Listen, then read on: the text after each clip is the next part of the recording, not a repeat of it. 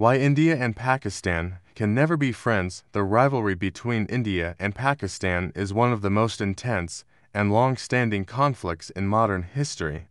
Despite sharing deep cultural and historical ties, the two nations remain locked in a cycle of hostility with little hope for lasting peace. The roots of this animosity trace back to the violent partition of 1947, which created both countries amid unimaginable bloodshed over a million dead and 15 million displaced. Unlike other historic enemies who eventually reconciled, India and Pakistan never healed these wounds, allowing hatred to pass through generations. At the heart of the conflict lies Kashmir, a disputed region fought over in three major wars 1947, 1965, and 1999.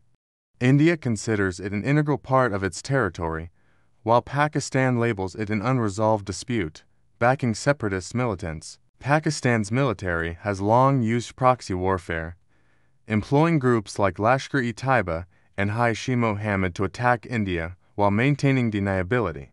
Major terrorist attacks, such as the 2008 Mumbai siege, which killed 166 people, and the 2019 Pulwama bombing killing 40 Indian soldiers, have been linked to Pakistan based militants, further fueling tensions. The power imbalance between the two nations continues to grow. India's economy is now 10 times larger, and its military budget is 7 times bigger than Pakistan's. While India rises as a global player in groups like the G20 and QUAD, Pakistan struggles with economic instability, relying on repeated IMF bailouts. Both countries possess nuclear weapons, bringing them dangerously close to war during crises like Kargil 1999 and Balakot 2019. While nuclear deterrence prevents all out war, it also paralyzes any meaningful peace process.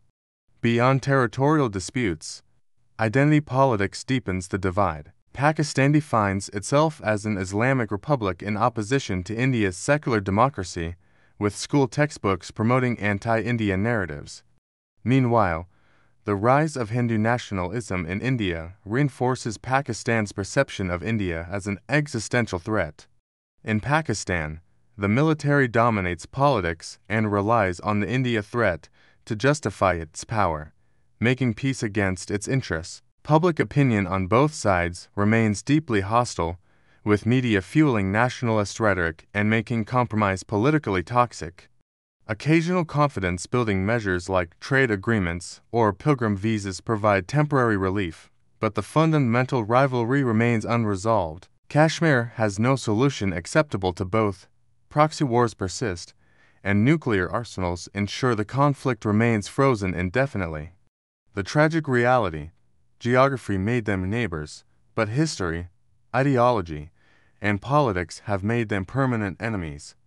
While full scale war may be avoided, genuine friendship between India and Pakistan seems impossible under current realities. This is one of the world's most intractable conflicts destined to continue with no end in sight.